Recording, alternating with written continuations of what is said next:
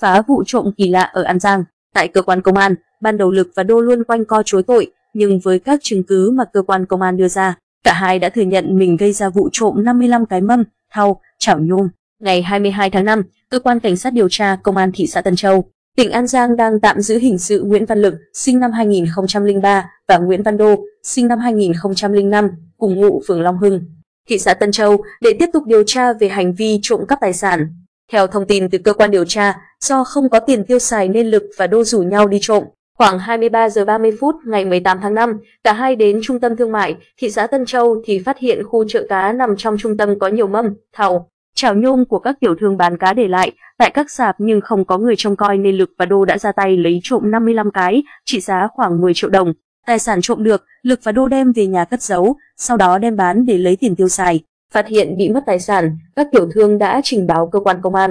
Tiếp nhận tin báo, lực lượng cảnh sát hình sự công an thị xã Tân Châu phối hợp công an phường Long Thạnh tiến hành xác minh, thu thập chứng cứ và sàng lọc các đối tượng nghi vấn. Qua trích xuất camera an ninh, công an xác định Lực và Đô đã thực hiện vụ trộm trên nên đã mời làm việc. Tại cơ quan công an, ban đầu Lực và Đô luôn quanh co chối tội, nhưng với các chứng cứ mà cơ quan công an đưa ra, cả hai đã thừa nhận mình gây ra vụ trộm.